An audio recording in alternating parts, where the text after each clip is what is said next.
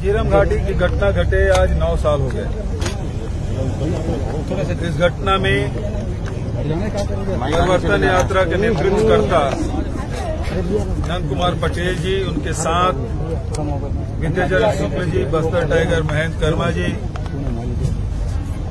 उदय मुदलियार जी, अल्लाह नूर गोलछा और तमाम हमारे कार्यकर्ता जो उनके काफिले में थे, जो सुरक्षा में जवान लगे हुए थे, उनकी शहादत हुई। इन नौ वर्षों में हमने भरसक कोशिश की इस घटना के सही तथ्य सामने आए। लेकिन आप सब जानते हैं ये घटना एक राजनीतिक आपराधिक षड्यंत्र था। और इसमें इस षड्यंत्र को उजागर करने के हम लोगों ने अनेक कोशिशें की लेकिन लोग अड़ंगा लगाते रहे। एनआईए की जाँच भी संतोषप्रद नहीं। आयोग के जो जाँच है उस पर भी लोग न्यायालय गए हैं।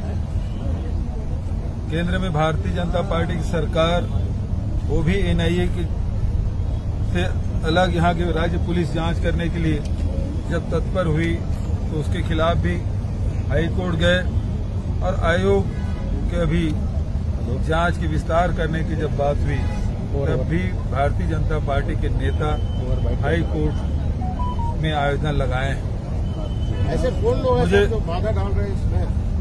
मैं तो स्पष्ट नाम ले रहा हूँ ना। भारतीय जनता पार्टी की सरकार केंद्र में है। वो हमको केस वापस नहीं कर रही है। दूसरे तरफ़ हेलो। यहाँ आयोग की जो जाँच है उसका दायरा बढ़ाया गया।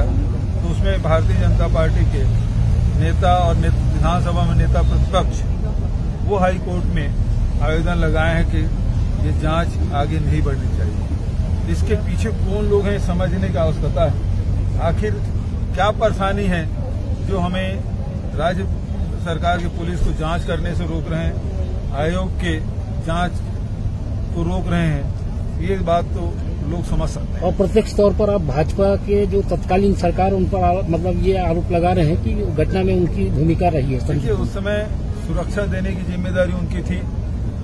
उन्होंने नहीं दी रूट परिवर्तन हुआ, इस प्रकार से अफवाहें फैलाई गई और वहाँ जाँच को भी बाधित करने की कोशिश की गई। हम लोगों ने उस समय लगातार राज्यपाल को, राष्ट्रपति को लगातार ज्ञापन देते रहे कि यहाँ जो अधिकारी जो नियुक्त किए गए हैं उसे बदला जाए। लेकिन आप सबने देखा कि किस प्रकार से तत्कालीन भारतीय जनता पार्टी सरकार ने इस जाँच को बाधित करने और विलंब करने की कोशिश की। कभी भी मतलब ये जाँच का रिपोर्ट आएगा जल्दी से जल्दी?